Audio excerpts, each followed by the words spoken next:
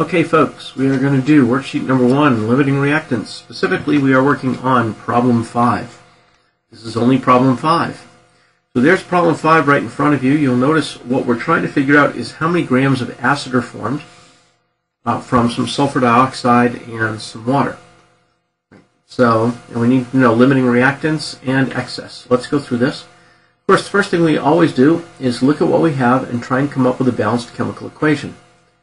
We have sulfur dioxide, which is SO2, and it's reacting with water, which is H2O.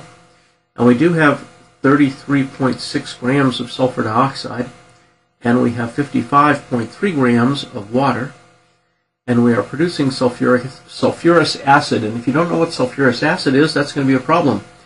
So again, you have to be able be good with names here, and sulfurous acid is H2SO 3. So if I look at this, I realize I've got two H's on both sides, one sulfur on both sides, and three oxygens on both sides.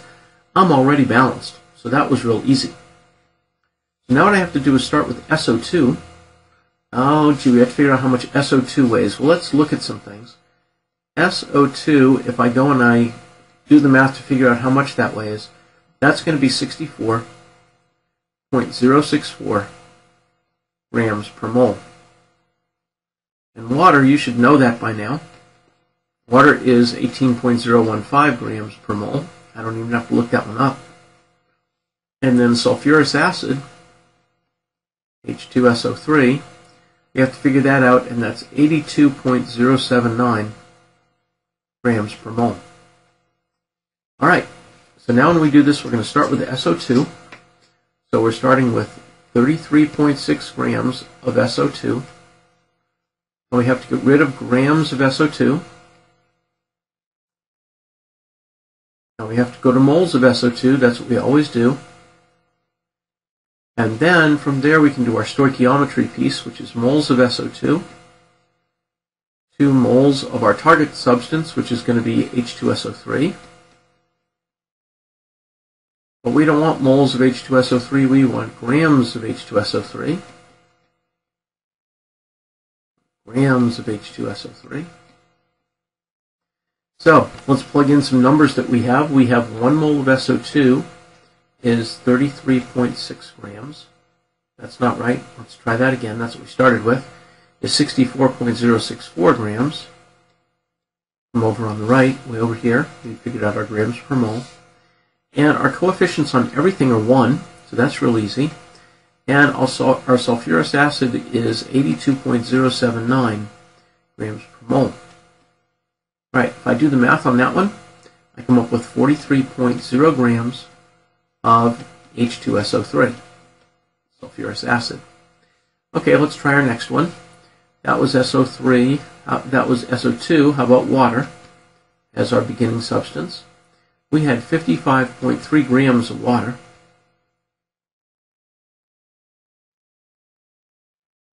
And we have to get rid of grams of water and go to moles of water.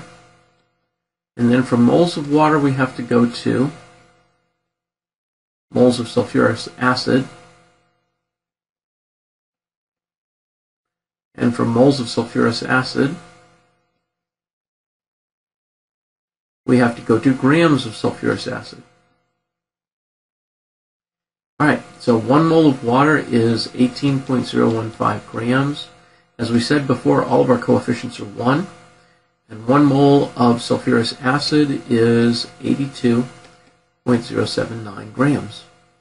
If I do the math here, I come up with 252, 252 grams. Wow. That's a lot. What a huge difference, right? 43 grams down to 252. All right. So now if I, so that tells me that my limiting reactant clearly is sulfur dioxide. That's what I ran out of first. The maximum number, the maximum amount of sulfurous acid I can produce is 43.0 grams. And that means there was a lot of uh, sulfurous acid that I could not produce based on the water that I had. H2SO3, sorry. So, what was that number? Well, 252 minus 43 is going to give me 209 grams.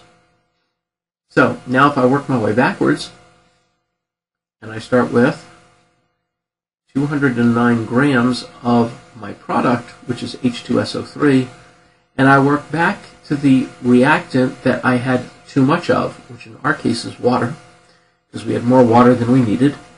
So we have to get rid of grams of H2SO3. We have to go to moles of H2SO3. And then we have to go from moles of H2SO3 to moles of water. And then from moles of water, we have to go to grams of water. So we know that one mole of H2SO3, we already figured out that that weighs 82.079, and all of our coefficients are 1, and one mole of water weighs 18.015 grams.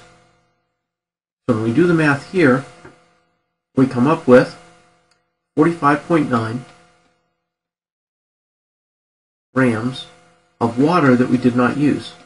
So we only started with 55.3. So we used approximately 10 grams, and the remainder of it we did not use. So this is the excess water that we had. This is the water that was not used. All right, that's it. Hope you get it. If you don't, please see us in class. We'll be happy to explain it. Okay? Take care. See you soon. Bye-bye.